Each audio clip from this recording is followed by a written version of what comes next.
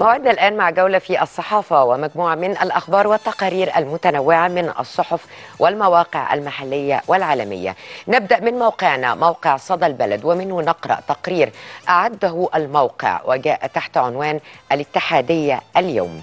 السيسي يوجه بسرعة تنفيذ مشروع تصنيع ماكينات الإنتاج الصناعي وتوطين صناعة المركبات الكهربائية ويهنئ ملك الأردن. شهد الرئيس عبد الفتاح السيسي عددا من الاجتماعات المهمة التي عقدت في قصر الاتحادية حيث اجتمع مع رئيس الوزراء وعدد من الوزراء وتناول استعراض الاستراتيجية القومية لتطوين لتوطين صناعة المركبات الكهربائية والصناعات المغذية لها في مصر. كما عقد الرئيس عبد الفتاح السيسي اجتماعا استعرض فيه مشروع تصنيع ماكينات الإنتاج الصناعي بتكنولوجيا التحكم الرقمي الآلي.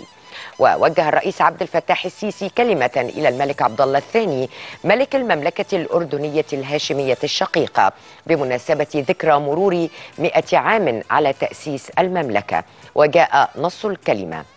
أخي الكريم جلالة الملك عبد الله الثاني ملك المملكة الأردنية الهاشمية الشقيقة.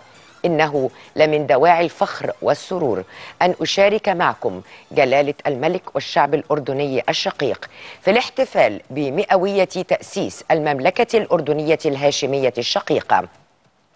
وهي المناسبة الغالية والعزيزة على مصر وعلى العالمين العربي والإسلامي والتي تمثل فرصة لتجديد التزامنا تجاه شعبينا الشقيقين بتعزيز العمل المشترك وتنسيق الجهود للمضي قدما بمسيرة العلاقات بين البلدين.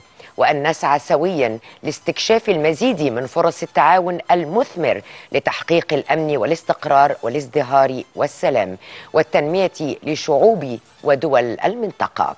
وأضاف الرئيس وإننا نستذكر بحق الدور المحوري للأردن على الساحتين العربية والإسلامية وما قام به لدعم الشعب الفلسطيني وقضيته العادلة وكذلك نسجل للأردن الشقيق وقوفه الدائم بجانب مصر ومساندته للقضايا التي تمسها وذلك انطلاقا من العلاقات التاريخية والوثيقة التي تجمع بيننا على المستويين الرسمي والشعبي. وتابع الرئيس جلالة الملك عبد الله الثاني لقد ثبت بما لا يدع مجالا للشك أن التوافق الاستراتيجي بين مصر والأردن قادر على التعاطي مع كافة التحديات وذلك التوافق النابع من أواصر العلاقات التاريخية الممتدة بين البلدين. واختتم الرئيس السيسي ومن هنا أود أن أختتم بتقديم تهنئة من الشعب المصري للأردن ملكا وحكومة وشعبا بمناسبة احتفالية مئوية المملكة الأردنية الهاشمية.